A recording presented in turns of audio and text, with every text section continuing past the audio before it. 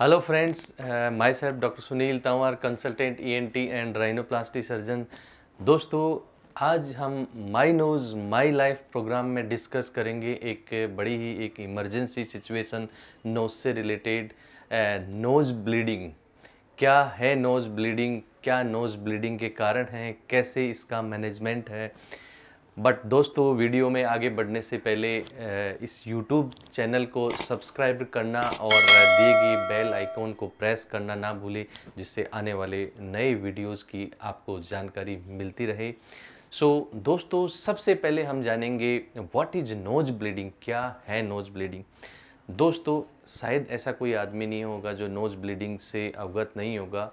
Nose bleeding nose के आगे के हिस्से से नाक से खून का बहना जो है, उसको नोज़ ब्लीडिंग नेजल ब्लीडिंग और एपिस्टेसिस नक्सीर ऐसे बहुत सारे नाम से जाना जाता है। नोज़ के आगे के हिस्से से खून का बहना नोज़ ब्लीडिंग है। दोस्तों, ये जो नोज़ ब्लीडिंग है, वो दो तरीके से इसकी प्रेजेंटेशन होती है। एक होता है एंटीरियर नेजल ब्लीडिंग यानी आगे के नोज़ का जो आगे के होल है, उससे नो ब्लड का निकलना। दूसरा है पोस्टीरियर नेजल ब्लीडिंग बहुत बार नाक के पीछे के हिस्से में जब ब्लीडर पीछे होता है तो मुँह से खून आना जो है वो पोस्टीरियर नोज़ ब्लीडिंग होती है। सो so, दोस्तों यह है जो है नोज़ ब्लीडिंग अब सेकंड जो इम्पोर्टेंट चीज़ है नोज़ ब्लीडिंग के क्या कारण हैं? क्यों नोज़ ब्लीडिंग होती है? दोस्तों जो नोज़ ब्लीडिंग है अगर पीडियाट्रिक एज ग्रुप में देखा जाता है बच्चों में देखा जाता है तो नोज़ ब्लीडिंग का जो कॉमन कारण है वो है ट्रॉमा ट्रॉमा आइदर वो प्लेइंग के कारण भी हो सकता है वो उसको चोट लगने के कारण भी हो सकता है। दूसरा है कि नाक के अंदर की तरफ़ जो है वो ए, फिंगर जो देके वो नोज़ पिकिंग जो है वो करते रहते हैं बच्चे कोई फॉरेन बॉडी चली जाती है उसके कारण। तो पीडियाट्रिक एज ग्रुप में ट्रॉमा जो है वो एक कॉमन नोज़ ब्लीडिंग का कारण होता है। अगर अडल्ट सिचुएशन में अगर डिस्कशन करते हैं तो दोस्तों, जो फ़र्स्ट जो मोस्ट कॉमन जो रीजन होता है नोज़ ब्लीडिंग का that is the blood pressure uncontrolled blood pressure so दोस्तों, ये दो इम्पोर्टेंट रीजन होते हैं नोज़ ब्लीडिंग के। इसके अलावा भी बहुत सारे कारण होते हैं, जैसे बहुत बार नोज़ के अंदर कोई मांस बना हुआ है, बहुत बार जो है वो खून से रिलेटेड जो है क्लोटिंग मैकेनिज्म, जो खून का थक्का बनने से रिलेटेड भी प्रॉब्लम होती है, उसके कारण भी नोज़ ब्लीडिंग हो सकती है, ट्रॉमा के कारण। बट ये जो कॉमन जो रीजन है, वो ट्रॉमा है, ब्लड प्रेशर है, ये जो है कॉमन जो रीजन होते हैं, जिसके कारण जो है वो नोज़ ब्लीडिंग होती है। थर्ड इम्पोर्टेंट थिंग, दोस्तों, नोज़ ब्लीडिंग कैसे होता है? क्या उसकी प्रक्रिया है? दोस्तों जब अपनी, अपना जो नोज़ है, नोज़ का जो आगे का जो हिस्सा है, अंदर जो सेप्टम है, उसकी जो म्यूकोजा है जो नाक को दो पार्ट में डिवाइड करता है, वहाँ पे अपने जो है खून की नसें होती हैं जो लिटिल्स एरिया होता है, जिसके अंदर जो खून की नसें होती हैं, बहुत बार क्या होता है, या तो नोज़ पिकिंग के कारण, या नोज़ में उंगली देने के कारण, और ट्रॉमा के कारण, और बहुत बार क्या होता है कि ड्राई अंदर की म्यूकोजा होने के कारण जो है वो नोज़ की जो नसें हैं, जो वेंस हैं, वो फट जाती हैं, जिसके कारण नोज़ ब्लीडिंग होता है। दूसरा, अगर कोई आदमी जो है ब्लड प्रेशर की मेडिकेशंस ले रहा है तो कई बार क्या होता है कि इंसान जो है, ह्यूमन बींग है, खुद भी जो है अपने ब्लड प्रेशर जब उसका नॉर्मल आ जाता है तो वो अपनी मेडिकेशंस बंद कर देता है या कई बार दूसरे के कहने पे आ जाता है। जैसे ही वो ब्लड प्रेशर की मेडिकेशंस बंद करता है, उसका ब्लड प्रेशर अनकंट्रोल जो है वो पहले जो गोली के कारण कंट्रोल था, वो सीवियर जो है वो राइज हो जाता है। या बहुत बार क्या होता है कि पेशेंट्स को जो है वो एंग्जाइटी के कारण, किसी पर्सनल इश्यू के कारण भी जो है ब्लड प्रेशर शूट कर जाता है। तो इसमें ये जो नाक की जो वेन है, उस प्रेशर बढ़ने के कारण, जैसे किसी पाइप में प्रेशर बढ़ता है तो वो लीक कर जाता है। तो उसके कारण क्या होता है कि वो नोज़ ब्लीडिंग स्टार्ट होती है। तो ये क्या है दोस्तों नोज़ ब्लीडिंग की जो प्रक्रिया है, वो ट्रॉमा और ब्लड प्रेशर के कारण, ये जो नोज़ की जो वेंस अपनी जो टेयर हो जाता है, उसके कारण जो है वो नोज़ ब्लीडिंग होती है ये उसकी प्रक्रिया है। फोर्थ इम्पोर्टेंट चीज़ जो है दोस्तों, वो है मैनेजमेंट दोस्तों रियली एपिस्टेक्सिस और जो नक्सीर है, वो एक इमरजेंसी सिचुएशन है। बहुत बार लोग इसमें क्या है पैनिक हो जाते हैं, इसलिए इसका मैनेजमेंट जानना बहुत ज़रूरी है। इसके मैनेजमेंट में सबसे जो है फ़र्स्ट मोस्ट इम्पोर्टेंट चीज़ जो है, वो है जो जहाँ पे एपिस्टेक्सिस हुआ है, उस इमरजेंसी सिचुएशन को हैंडल करना। सबसे पहले तो एश्योर द पेशेंट चिंता नहीं करें और एटलीस्ट जो नोज़ की जो ब्लीडिंग है, उसमें उस पेशेंट्स के जो नोज़ का जो आगे का पार्ट है, उसको पिंच कर लेना चाहिए, लाइक दिस। नोज़ को क्या है, दबा लेना चाहिए। एटलीस्ट टेन मिनट्स तो नोज़ को दबा लेना चाहिए।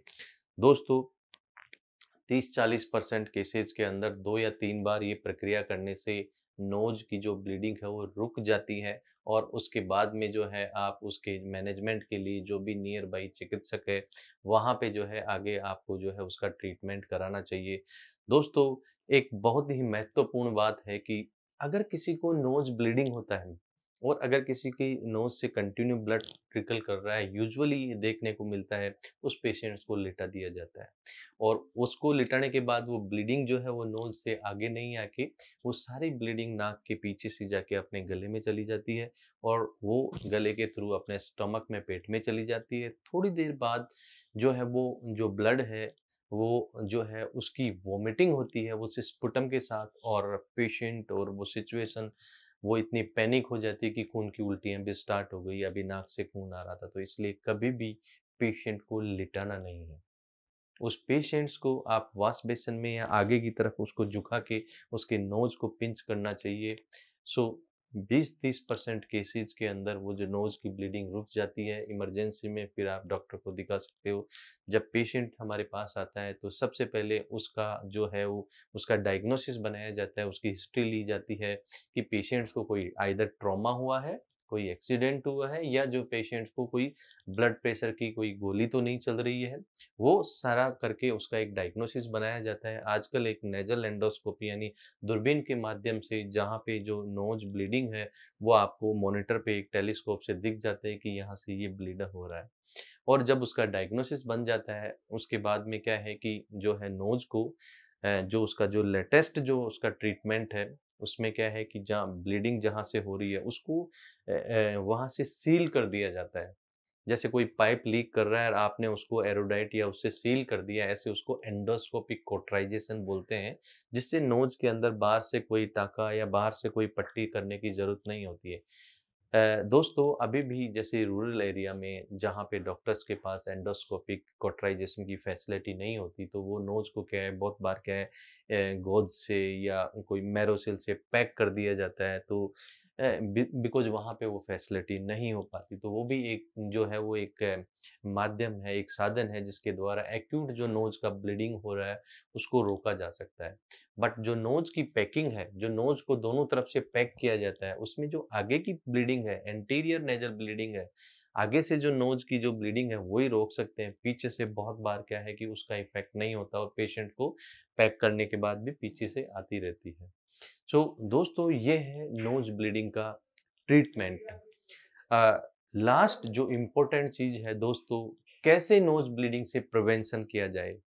दोस्तों नोज़ ब्लीडिंग एक इमरजेंसी है सो उसके लिए सबसे इम्पोर्टेंट चीज़ है अगर कोई जो पेशेंट उसको अगर ब्लड प्रेशर की मेडिकेशन चल रही है तो अपनी ध्यान रखें कि अपनी जो ब्लड प्रेशर की गोली है उसको आप मिस नहीं करें उसको आप बंद नहीं करें।